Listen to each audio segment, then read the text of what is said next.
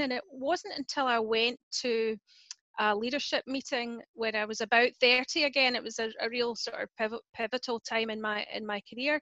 When I looked around the room and there was like you know 150 people in the room and there was four women, and I thought, where where are they all and it really was that point where i realized um, how in the minority uh, females were in in that industry when you look at the kind of pipeline into the tech industry we, we only have 17% of young people coming into tech that, that are female so this is a very multifaceted problem not only do we have you know pipeline problems in into the mm-hmm. sector mm-hmm. but we also have progression issues um, within the sector. I see a lot of focus on, you know, building communities for uh, for women in technology to, to engage.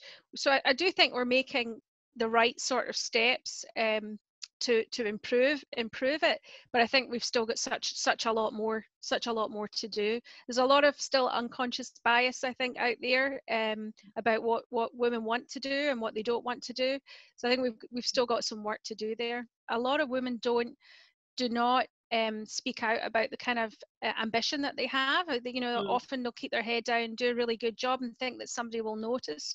But actually, building those connections and making sure that people know what your ambition and aspirations are is, mm. is you know, is a really important thing thing to do. And and just asking, you know, will will you will you yeah. be my sponsor? Is um, you know, what what's the worst thing that can happen? Three of my current non-executive positions came through my network.